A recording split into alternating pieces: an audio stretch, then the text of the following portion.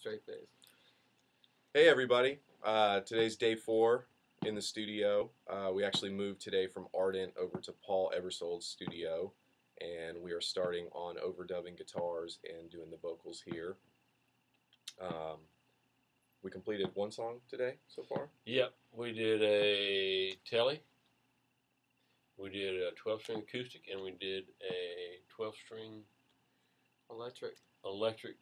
Danelectro. Tried the Leslie, did not work with the Leslie. Uh, just too much movement, too stringy, but it uh, went to the uh, Koch 20 watt Class A, and it was pretty cool. Mm-hmm. Sounds good. Mhm. Been a pretty pro- productive day due to the fact that we had to move all the gear uh, from studio to studio. So we're going to be getting back in here tomorrow morning and firing it up. Guess that's about okay? it. Yeah, it's Nelson's last night in town.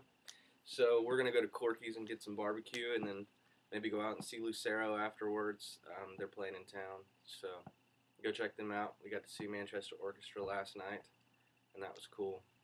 So um, yeah, we're gonna get back in here early in the morning and get back to work. Thanks for hanging with us, Nelson. Hey man, it's been great. You've done a terrific job. Thanks, man. Thank you. Super album. I hope so. The public will love it. They better. All right. Well, we'll see you guys tomorrow. Bye.